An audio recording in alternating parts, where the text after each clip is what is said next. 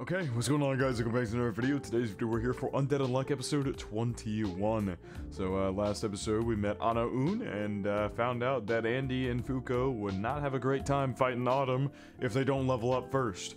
And to do that, we're gonna have to take a look into Andy's past uh, which I'm assuming is going to be a majority of this episode, if not for all the recaps and everything such as that. So, I don't have much else to say going into this. Uh, the last two episodes have been very interesting to say the least. Uh, the recaps have kind of killed the hype for me, uh, but I mean, the episodes were enjoyable despite that in their own way. So, uh, yeah, we will we will get to see if uh, if Andy and Fuko are going to level up here by taking a look in Andy's biography as uh, Ana Un slashed Andy with with one of the Autumn's claws, and uh, he turned into a bunch of books. So we're gonna go into that biography. We're gonna dive in, take a look, and uh, see what there is to find about Andy's past. Per usual, feel free to check out the Patreon Discord. Links are in the description for both of those below. Uh, the Discord, uh, we talk about the we talk about current shows, past shows, uh, current manga, past manga, and uh, we have non-anime non-anime conversations as well. Uh, so feel free to check that out of your own will, and then the Patreon as well. You get exclusives and uncut all my reactions. So check out e either of those of your own will. But now, without further ado, Top starting to Undead Unluck, episode 21. Wow. Actually, a relatively short recap today. I'm surprised.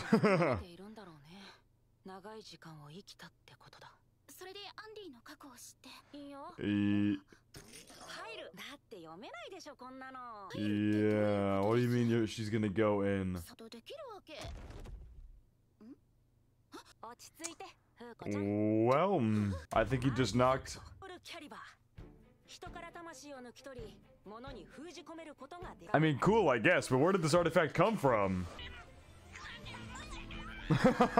well, okay then. Just turned into this little this little Fuko ball. You'll find out. Yeah, what made Victor turn into Andy? That is a major question we've had since like the beginning of this series. Like, how did Victor split into two beings? Seems like we're getting to this arc right here, finally. The hell? Those are gunshots? Uh.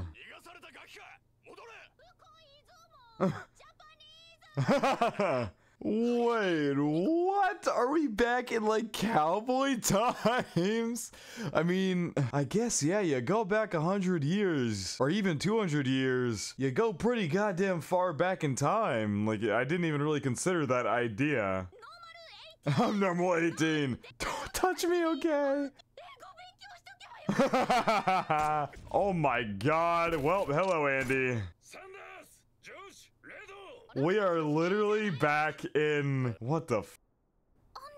He doesn't know that name right now. He doesn't know that name right now, Fuko. He does not. He has not gotten to the point in his life where he where he knows what that name means. Oh, you from there?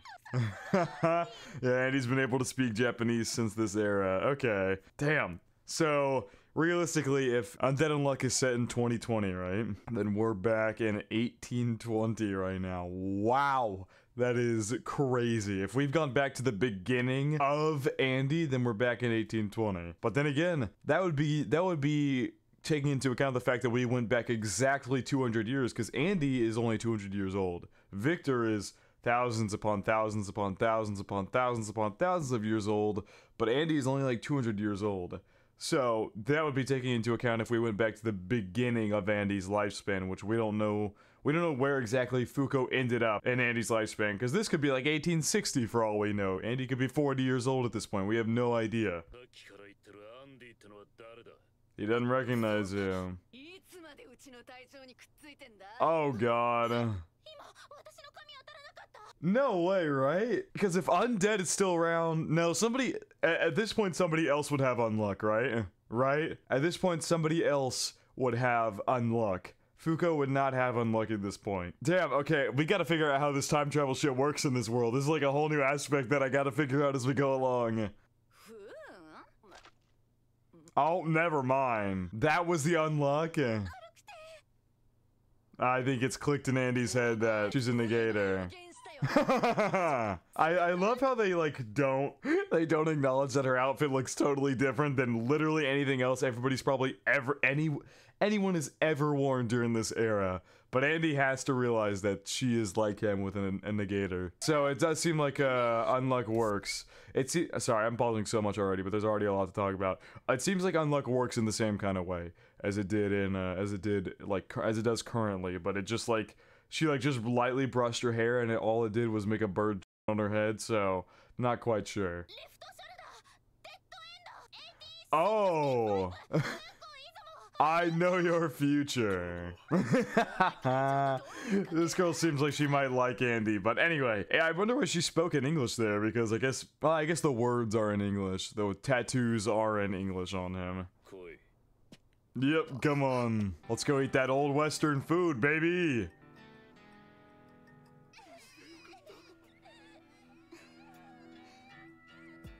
This is the town where Spoil was. This is 1000% the town where Spoil was. Absolutely. Yeah, there is no way you're gonna convince me otherwise that this is just some st- typical, stereotypical, like, Western town. This is 1000% the town that we fought Spoil in. 1000% without a shadow of a doubt, this is that town. The captain taught me. uh,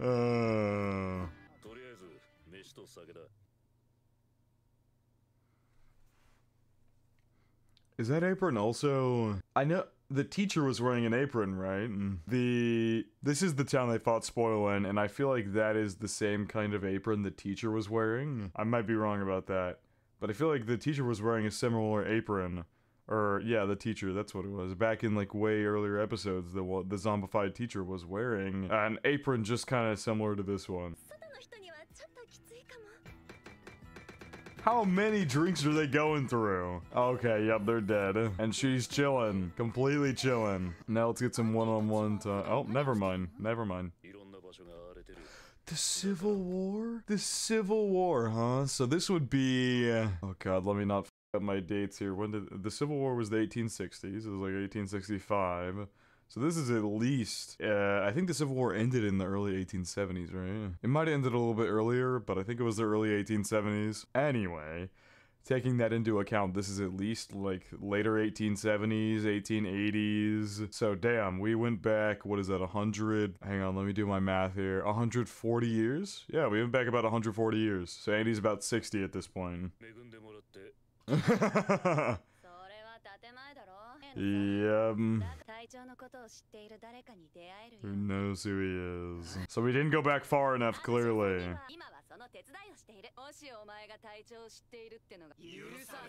Oh, you're dead meat.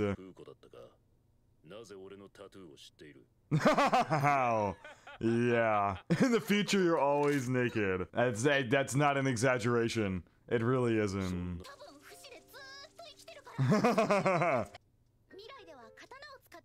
Yum.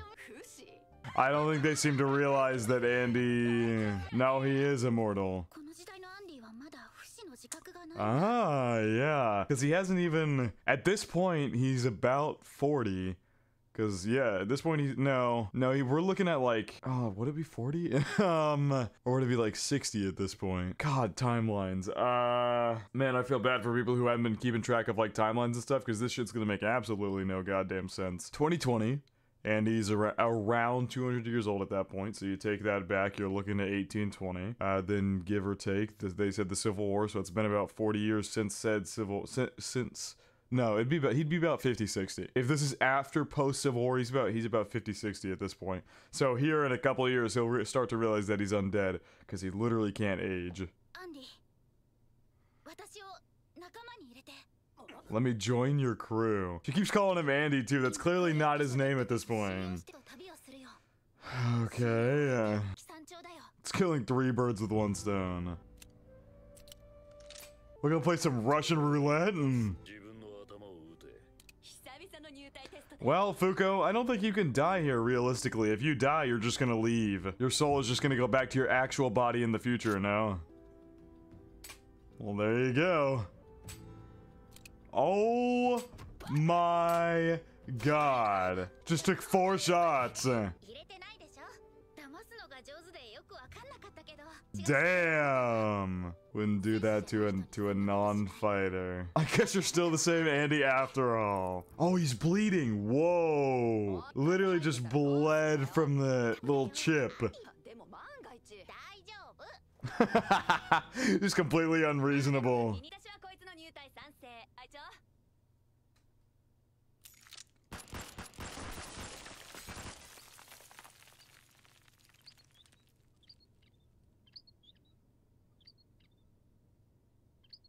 全員死んだかおい店の女手はず通りだいぶ酔わせたなガキどもにはもう手は出さねえや What the f- just happened? What the f- just happened? What the? Alright, well, I think that takes us to the first time Andy realized he's undead. That's why Fuko was brought here. That is why Fuko was brought to this point in time, because it allows Fuko to see the first time that Andy realizes that he's undead. Oh my god. She got shot through the chest. You doing well? God damn, man. Whole gang just got destroyed here. Well, uh, よかった借りるぞサンダース Yep, Andy's back alive, and he's going to kill them. Been seeing his terrible past. それはクさんの別れを知るということなんだ確かに自分が不死だと分かれば Melee attacks make more sense. God damn. My duty to witness each one with my own eyes. So I guess Fuko realistically can't age here either because this is just her soul in here. Her body's still in the other world or in the future. So maybe she's just going to stay with Andy for 200 got or 140 years, however long, into the future to see all his memories. Far too good for me. God damn. A rough start. So that's why she was so nervous and itchy, right? Because back in the saloon, she was like acting all nervous when giving them the beer and whatever it may be uh, to drink. She was acting all fidgety, and I didn't really comment on it, but I definitely noticed it. Uh, I don't think Andy's gonna do anything here. He put the shovel down. Every year on this day. So it seemed like they just. Oh my god, Andy got a lot of bull. I thought he just got shot in the head, but no, he got shot like everywhere. God damn. Interesting. Man, this whole thing is very interesting. 優しいねと自分を責め続ける償える方法を苦しめたいだけだ hmm I'm sure that's what it is. でいいんだよねああ I'm dropping you off at a town nearby. Andy trying to get rid of her real quick. I wonder if this is actually... Uh, oh my god, she traveled with him for a while. I have to wonder if this is like... I, I don't know if this is altering the past. I don't think it is, but I don't know. I don't know if we are actively altering the past or not. I really don't know. Like, I don't know if Fuko being here is like one of those time travel things where the person who goes to the past alters the past, or if her soul is just here to watch what happened because she's clearly altering the past. Because Andy would have found out he was undead at that saloon scene no matter what when his crew gets killed. He would have found that out no matter what. Damn, uh, but then Fuko was there, and uh, I, I don't know. I don't know. I don't know if she's actively changing the past. This is very interesting. Like I'd become a character in some sort of book. Yeah, when did Andy start cracking all the smiles? What, what time are we in now? God damn. This has got to be like Cold War era type stuff. With like the outfits they've got on. God damn, man. She is really staying here for all this time, and she's not aging either, it doesn't look like clearly, because this is just her soul. Hmm. Well, to be fair, we didn't get put at the beginning, which is annoying, which is already annoying. Oh, it's just interesting how she's changed up her outfit here. Uh, anyway, um, it's like I, I just feel like the place it stuck us at was very inopportune. I know it was the first time Andy found out that he was undead, but you know what would have been great? Taking us back to when Victor changed into Andy in the first place. That would have been awesome. That would have been so cool. But nah, I I guess we'll we'll find that out eventually. Yep, there you go. So it seems like her unluck is very toned down in this reality. Don't let the captain feel you up. They got some new people in the crew, clearly.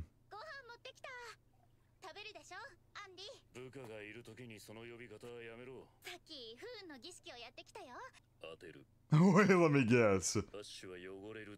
Basically. Basically. I can't stand in.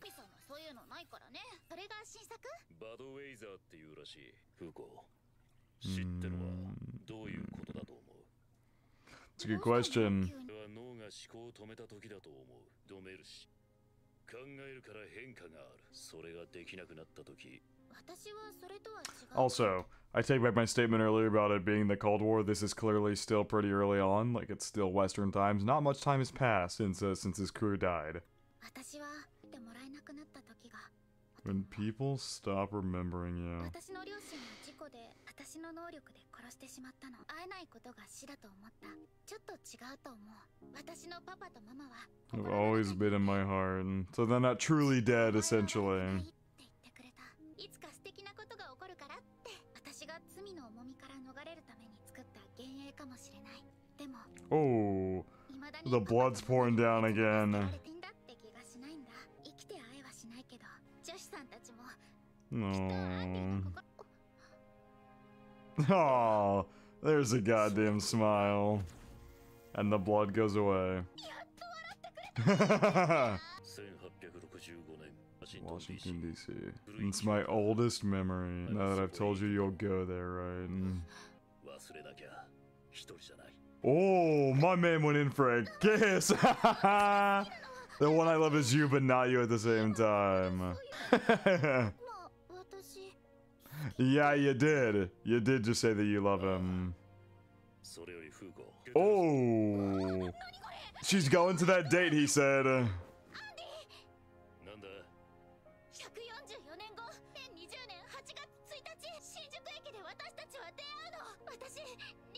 Aww, this is so good.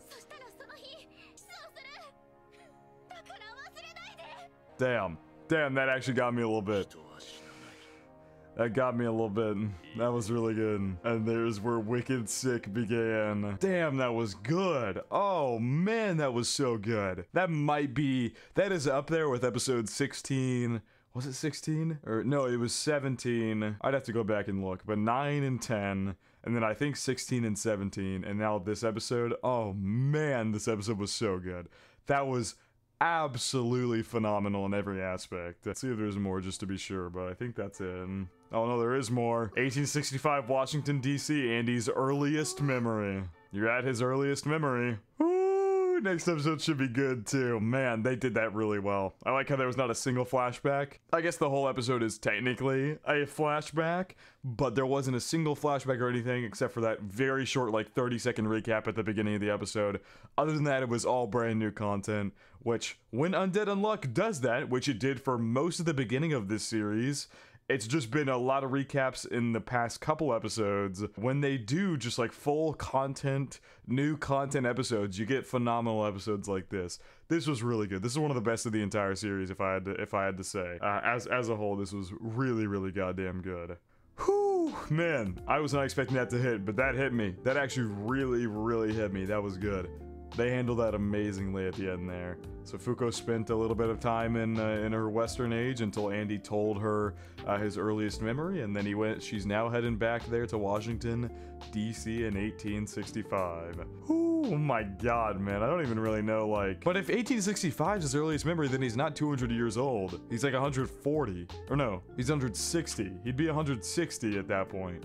So he's actually younger than they originally said he was. Because they said he was originally 200 years old, but I guess that might have been more of a, a rough estimate, if anything. 'Cause 1865, yeah, no, that'd be it'd be 160 years old. Is it 140? It actually might be 140. No, no, it's 160. Okay, that's enough of math. That's 160. He's actually 160 years old at this point, and so we're gonna head back to the first day of his memories and see what's going on with Victor, uh, what caused Victor to turn into Andy, and where we're gonna go from there. So I don't know. We don't know yet if Fuko being here is legitimately altering the past.